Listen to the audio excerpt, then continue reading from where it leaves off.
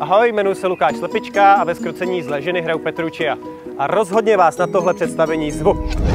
Ahoj, já jsem Peťa Novotná, druhým jménem Lucie, kamarádi mi říkají Pex, ale vy mě poznáte jako Kateřinu. A chci vás pozvat eh, na skrocení zlé ženy, abyste se podívali, zda mě opravdu dokážu skrotit.